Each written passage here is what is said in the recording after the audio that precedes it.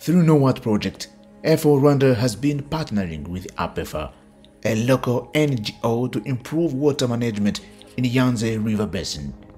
The harvested water is used in both aquaculture and agriculture.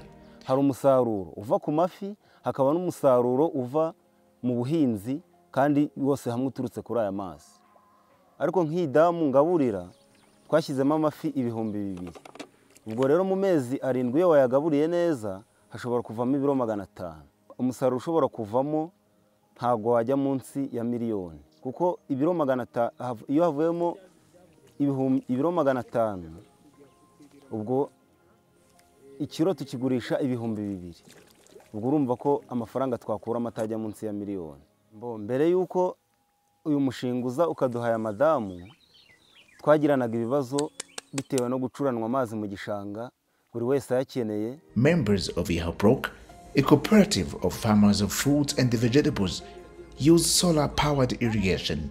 They can grow crops every season. amazi arimo kugenda yagiye mu murima. Cya gihe cy'izuba twabaga twicaye tuvuga ngo tuwuhize iki? Ubu nta kibazo dufite kuko dufite amazi hafi hano tukagira n'imashini iyadukogotera tukuhiza. Nta kibazo ubu dufite mbese. Ariko izi nyonganyonga twebwe nk'ababyeyi abadamu zaratuvunaga kuj- kujyaho tukanyuka byari byaratunaniye mbese bigasaba imbaraga. Byakoreshwaga abantu b'abagabo. Nko kuri are ebyiri nezagaho nahingaga nka borokori nazihinga nkeza- nkezaho nk'ibiro nka mirongo itandatu. Ariko ubu ngubu aho ndi guhinga nkoresha ino pompe nuhiza amazi mbese nyabonera ku gihe. Ubu ngubu kuri are ebyiri.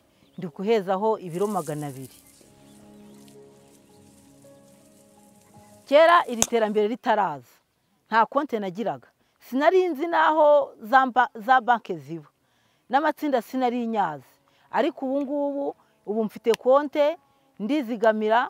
Igihe cyagera ya mafaranga nizigamiye nkagenda nkayazana nkayaguramo ikintu nkeneye runaka kizanteza imbere mu gihe nzaba nageze mu masaziro yanjye ntabwo twari tuzi kurya imboga ariko muri no muri iki gihe imirire yarahindutse ibiryo byose ubu ngubu turiye haba hariho imboga hariho n'imbuto nta kibazo mbese ubu ngubu nta mwana urwara bwacya mbese muri aka gace nta bwacya turwaza In a bid to promote livestock for farmers to get organic fertilizers, the project gave them 30 pigs.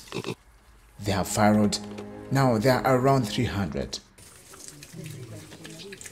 Mu gihe cy'umwaka ingurube nyimaranye imaje kumpa amafaranga ibihumbi ijana na mirongo itanu.